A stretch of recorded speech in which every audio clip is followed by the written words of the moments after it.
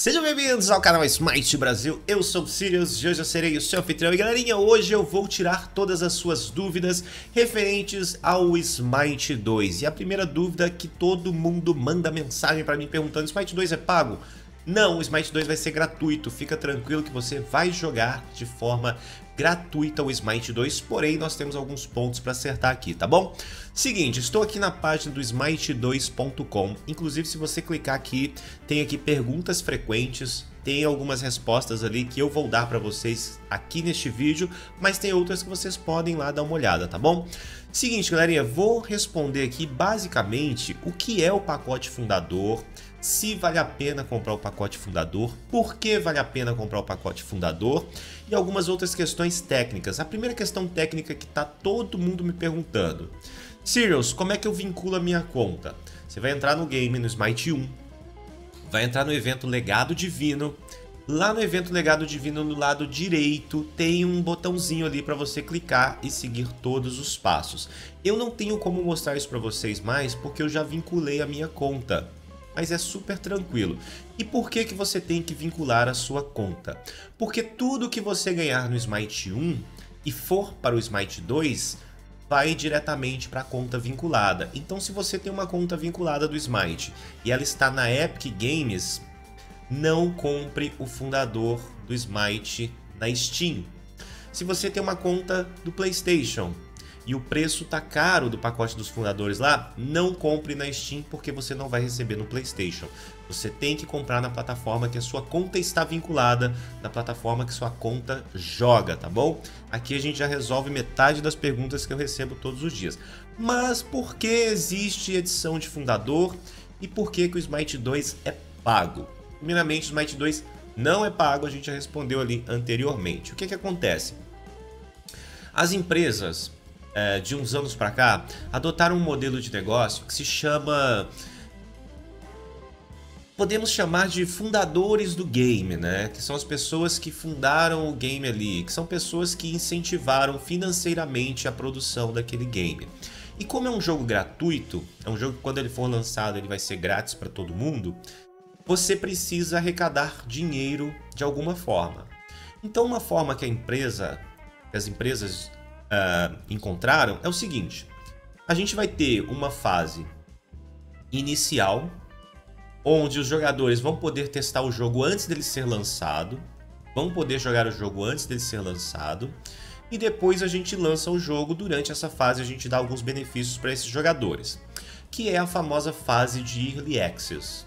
Então você tem a fase de acesso antecipado, que geralmente é ali no momento onde algumas pessoas compraram pacotes de fundador, enfim, e ali estão jogando, testando o game até que o jogo seja lançado finalmente. Existem jogos que são Early Access e você compra para jogar o Early Access, e quando eles lançam eles continuam pagos, e existem jogos que são gratuitos. Mas existe uma pré-fase Early Access, que agora virou moda também, que é o famoso Alpha, o famoso Beta, que as empresas também pagam ali, o jogador também paga para jogar essa fase com pacotes fundadores, enfim. E o Smite 2 vai receber essas duas fases, tanto a fase do pré-alpha, do alpha, pré-alpha a gente estava jogando, eu estava jogando, né? o alpha, o beta e o early access. Então, para você jogar essas fases, você não necessariamente precisa pagar, porque você pode se inscrever aqui pelo site e aí, né, registrar para o alpha. E aí você testa o alfa ali se você receber um aqui. Porém, se você comprar, você vai ter alguns benefícios. E esses benefícios são bem legais. Eu queria deixar bem claro aqui que eu não estou recebendo nenhum centavo da Hi-Res para gravar esse vídeo. Vai falar assim, ah, gente, compra o pacote fundador desesperadamente. Não, eu não estou recebendo nem um centavo para fazer isso daqui. Não é uma propaganda onde eu estou recebendo dinheiro para fazer. É uma propaganda onde eu acredito no que eu estou falando, de acordo com aquilo que eu já joguei, que eu já vivi dentro dos jogos da Hi-Rez, tá bom? Nós temos os pacotes fundador, são três pacotes de fundador. A edição de fundador, a Deluxe e a Suprema. Eu tenho a Suprema. Por que você tem a Suprema? Eu sou criador de conteúdo de Smite, então eu preciso ter a melhor versão aqui para poder testar, para poder receber as skins, enfim. Mas você como jogador, qual que é a edição que você deve comprar? Primeiramente, você tem que comprar a que você quiser, a que você tiver dinheiro e a que você puder. Ah, eu não posso comprar nenhuma, não compra. Não faz sentido, não tem porquê. Inclusive aqui, ó, vou colocar aqui, a tá em dólar aqui, né? Dentro do site, ó, tá vendo? Tá 29 dólares, 59 dólares. Não são esses preços, tá? É 89 reais, 170 e 297, tá? É basicamente esse o preço. Não sei porque ficou em dólar para mim aqui. Deixa eu voltar pro inglês. Preço na Steam: 89, 178, 297. Não é o mesmo preço do PlayStation. A galera tem reclamado, mas quem tem colocado o preço no PlayStation é a Sony. Então vamos aos Founder Packs. Versão base: 89. Acesso integral ao Smite 2, isso quer dizer o quê? A todas as fases do Alpha, Beta e The Access. Incluindo todos os deuses Smite 2 para sempre. O que, que é isso? Um God Pack. Então você vai pagar R$ 89,00 por um God Pack, todos os deuses do Smite 2, para sempre, até os que lançarem, e acesso ao integral ao Smite 2. Só aqui já vale, por quê? O God Pack atualmente no Smite custa esse valor, no Smite 1. O God Pack no Smite 2 provavelmente vai ser mais caro. Então, você comprar agora o God Pack já te garante um preço mais barato. Porém, pode acontecer de que existam promoções no Smite 2 que o God Pack saia mais barato do que 89 reais, e aí você vai, de certa forma, perder. Mas você ganhou o Avatar, uma insígnia, uh, título da edição fundador, a aparência do Ymir Caco Demônio no Smite 2 e duas vezes mais gemas legado. O que são gemas legados? Todas as gemas que você gastou no Smite 1 vão para o Smite 2. Essas gemas você vai poder usar para comprar 50% de alguma coisa, ou seja, uma skin lá custa mil gemas, você vai poder gastar 500 gemas dessas gemas legado, mais 500 a que você tiver lá. Além disso, se alguma skin do Smite 1 for para o Smite 2 futuramente, você vai poder comprar com as gemas legado no valor de 100%. Se a skin custar mil gemas, você vai poder usar mil gemas legado para poder garantir aquela skin. Vale a pena comprar esse pacote fundador? Vale. Vale muito a pena comprar esse pacote fundador? só se você quiser jogar as fases iniciais do Smite 2, quiser as duas vezes gemas legado, pacote uh, dos deuses e a skin Caco Demônio. O pacote Deluxe, ele custa 190, né, 178 reais, eu, eu olhei errado aquela hora, peraí, 178 reais, e você ganha tudo isso mais a aparência de, da Nif, a Cross a Caçadora Noturna, que vai ser tanto no Smite 1 quanto no Smite 2. Então você já ganha uma aparência a mais ali, né? E você ganha um passe de ascensão para os primeiros 11 deuses do Alpha. O que é um passe de ascensão? A Rez ainda não liberou essa informação e aí é um erro deles. Mas vai ser uma espécie de passe de batalha que cada deus vai possuir e aí você vai evoluindo, é como se fossem as maestrias daquele deus ali que vão te dando alguns benefícios. E aí a gente já imagina que pode vir skin, pode vir tela de carregamento, alguma coisa assim, tá bom? Não temos ainda informações precisas. Vale a pena comprar isso daqui?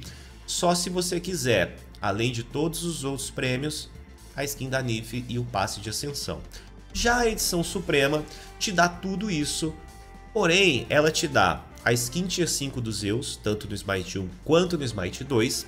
Além disso, o passe de ascensão vai para os 23 primeiros deuses do Smite 2. São 23, o outro é 11, esse é 23 e você ganha uma insígnia Avatar edição suprema. Para quem quer esse passe aqui? Para quem quer realmente a skin X5 dos Zeus e quer os 23 uh, deuses ali com passe de ascensão, que são os deuses que virão no Alpha também. Vale a pena comprar? Se você tiver dinheiro, compre os pacotes fundadores. Então, a pergunta que não quer calar, o Smite 2 é pago? Eu já respondi lá no início e vamos responder novamente aqui. Não, galerinha. O Smite 2 não é pago, você não precisa pagar para jogar.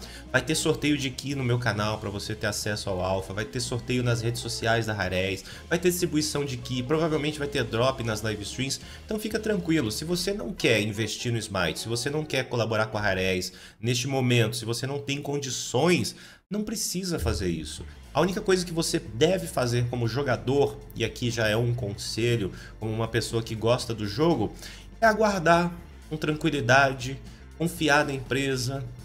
Se tiver ali um gameplay que você viu, que você gostou, divulga para os seus amigos, compartilha, vai lá, dá um comentário, assiste um streamer que está fazendo uma live de Smite, assiste um vídeo de Smite, deixa um like, comenta, incentiva, porque o Smite ele não é um jogo que tem um alcance global muito grande.